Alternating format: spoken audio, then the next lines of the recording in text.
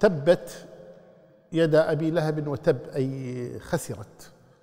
يد أبي لهب وتب مع أنه عم النبي صلى الله عليه وسلم اسمه عبد العزى